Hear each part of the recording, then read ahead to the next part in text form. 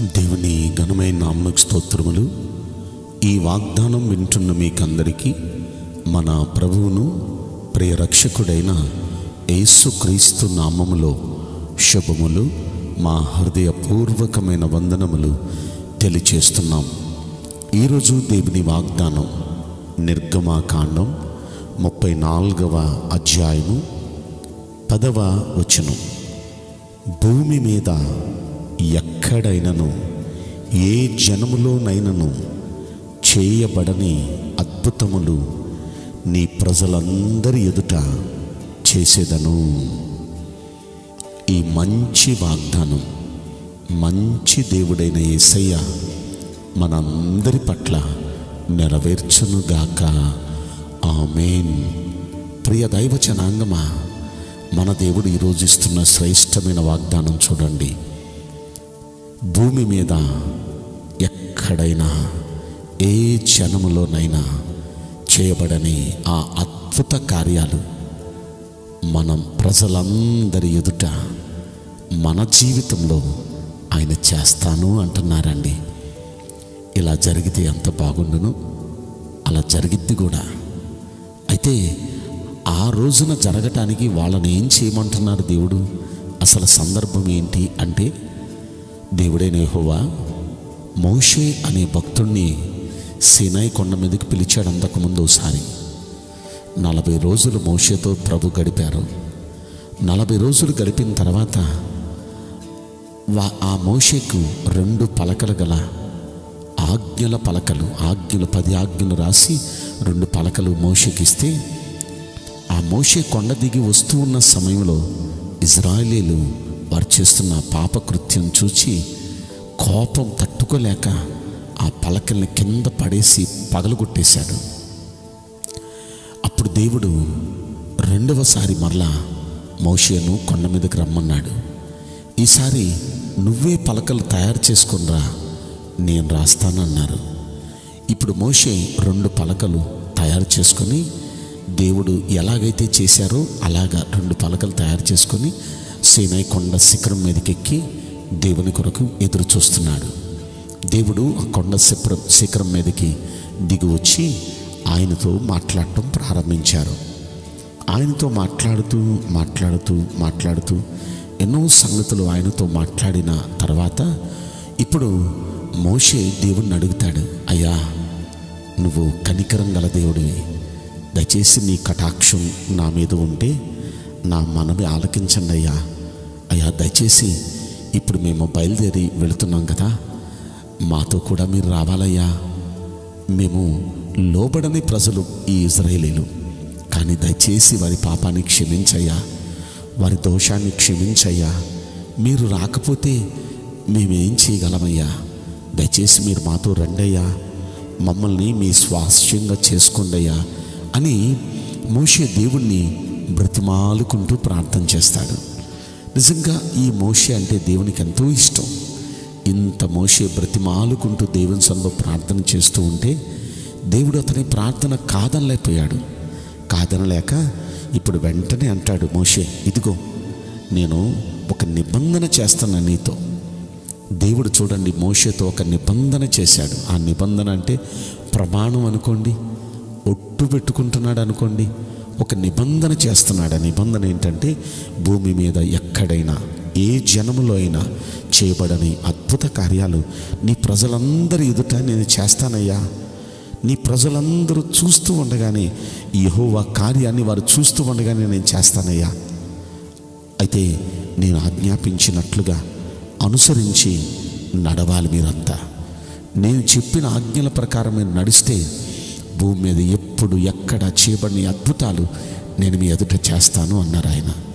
ప్రియ దైవ జనాంగమా నిజంగా దేవుడు మోషతో ఇజ్రాయేలీలతో నిబంధన చేసుకొని వారితో ప్రమాణపూర్తిగా చెప్తున్న ఈ మంచి మాట ఎంత చక్కని మాట.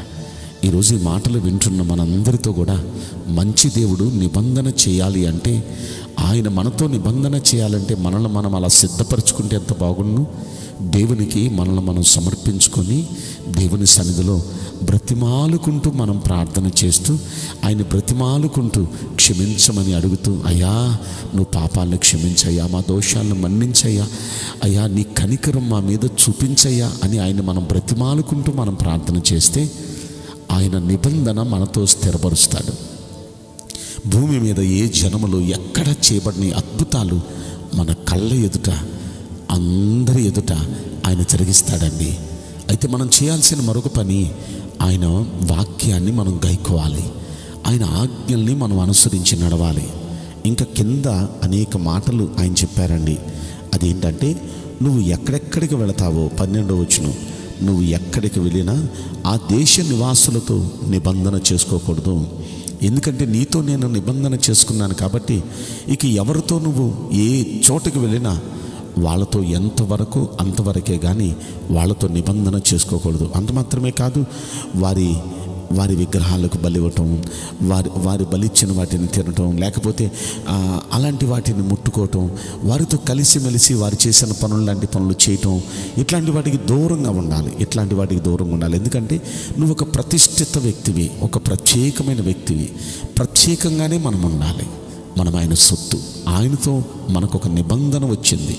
ఇక ఆయనతో మనకి నిబంధన కుదిరిన తర్వాత ఇక లోకస్తులతో మనం కలిసిమెలిసిపోయి వాళ్ళు చేసినట్టుగా మనం చేస్తూ వాళ్ళు మాట్లాడినట్టుగా మనం మాట్లాడితే దేవుడు ఆ నిబంధన నుండి ప్రక్కకి వెళ్ళిపోతాడు ఆయన.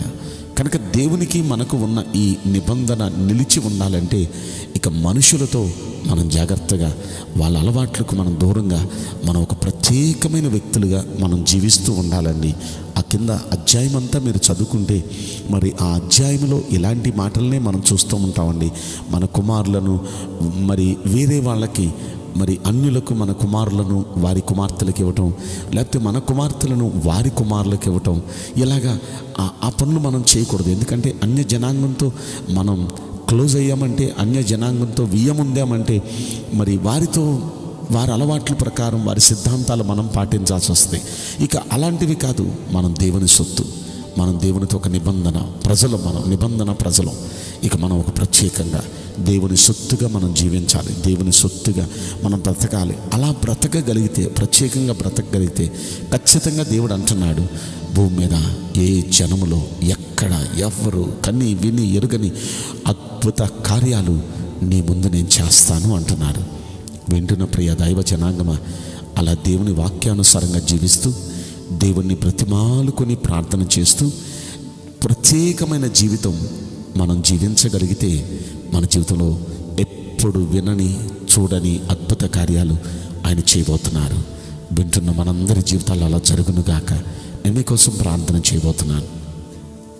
పరిశుద్ధుడా ప్రేమలేసు రాజా మీ పరిశుద్ధ బంగారు పవిత్రమైన నామ్మనకు నిండు మనసుతో కోట్ల కొలదిగా స్థుతులు స్తోత్రములు వందనాలు చెల్లిస్తున్నాం. ఈ వాగ్దానం దయచేసి వింటున్న ప్రతి ఒక్కరి పట్ల నెరవేర్చండి. ప్రభాన్ని నీ వారున్న పరిస్థితులు శ్రమలు అన్నీ చూస్తున్నారు. ఎక్కడ ఎప్పుడు చూడని వినని అద్భుత కార్యాలు చేస్తాను అన్నారు. అయితే మీరు చెప్పినట్లుగా జీవించడానికి కూడా మీ బిడ్డలు తీర్మానం చేసుకుంటున్నారు. మిమ్మల్ని బ్రతిమాలుకుంటూ ప్రార్థించటానికి. అంత మాత్రమే కాదయ్యా మీ వాక్యానుసారంగా జీవించటానికి మూడవదిగా ప్రత్యేకమైన జీవితం జీవించటానికి మీ బిడ్డలు తీర్మానం చేసుకుంటున్నారు. ఆ తీర్మాన ప్రకారం వారు ఉంటూ ఉండగా దయచేసి మీ అద్భుత కార్యాలు జరిగించి వారితో మీ నిబంధన స్థిరపరచమని ఈ కొద్ది మనవులు నసురుడైన యేసుక్రీస్తు ప్రశస్తమైన నామములో మిక్కిలి వినయముతో ప్రార్థించి బ్రతిమలాడి వేడుకుంటున్నాం. ప్రియ పరలోకపు తండ్రి amen may God bless you all thank you